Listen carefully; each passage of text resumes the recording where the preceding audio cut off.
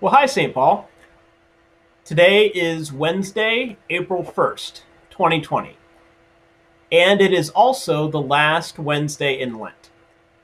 So I would like to share with you the final reflection I've written for this series called Places of Faith. The Holy Gospel according to Matthew, the 27th chapter. Glory to you, O Lord. Well, as they went out, they came upon a man from Cyrene named Simon, and they compelled this man to carry Jesus' cross. And when they came to the place called Golgotha, which means place of a skull, they offered him wine to drink, mixed with gall. But when he tasted it, he would not drink it. And when they had crucified him, they divided his clothes among themselves by casting lots.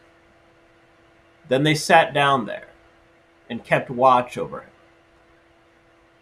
Over his head they had put the charge against him, which read, This is Jesus, the King of the Jews. Well, then two bandits who were crucified with him, one on his right and one on his left. Those who passed by derided him, shaking their heads and saying, You who would destroy the temple and build it in three days, save yourself. If you are the Son of God, come down from the cross. In the same way, the chief priests also, along with the scribes and elders, were mocking him, saying, He saved others, he cannot save himself. He is the King of Israel. Let him come down from the cross now, and we will believe in him. He trusts in God. Let God deliver him now if he wants to. For he said, I am God's son.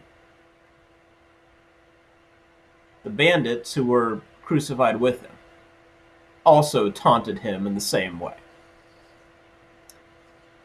The Gospel of the Lord. Praise to you, O Christ. Places of faith. Golgotha.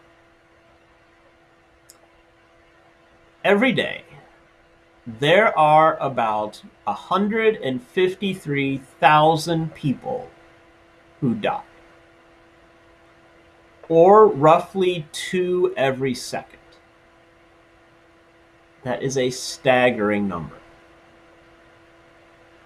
And maybe you have been there when someone has died. Maybe you waited by their bedside. Maybe you held their hand. Maybe you were there to help close their eyes. Or maybe you were not there, but you desperately wanted to be. All of us have known someone who's died.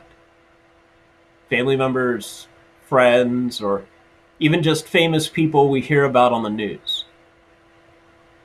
because death happens all the time. And sometimes it doesn't affect us personally when someone dies because we didn't know them that well. But sometimes it does affect us.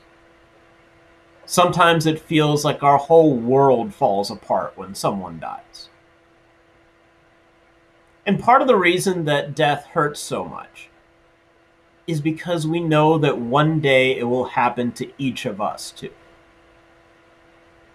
When someone you love dies, it's a reminder that one day you too will die.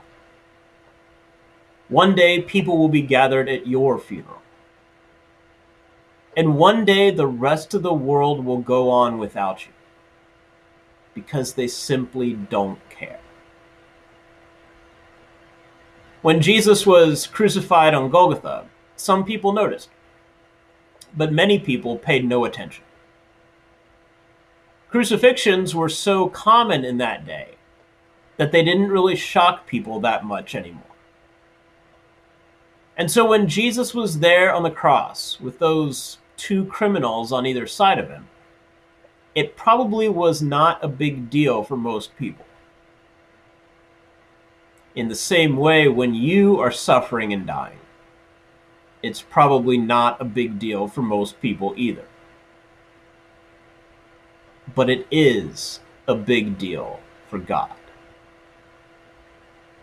God cares so much that God came to us in the person of Jesus. Jesus knew what it was like to be fully human. With all of our pains and problems and struggles, and Jesus knew what it meant to suffer and die. Sometimes when people die, they just close their eyes and they don't wake up again. But sometimes when people die, they suffer. Jesus suffered. Crucifixion is one of the worst forms of execution that humanity has ever invented. And yet Jesus went through it. He went to the cross willingly to show you that nothing can stand in the way of his love for you. He knows what it's like when you suffer. And he knows what it's like to give you resurrection life. As we anticipate Holy Week right around the corner, we are conscious of Jesus' passion and of all of the events that led up to his cross.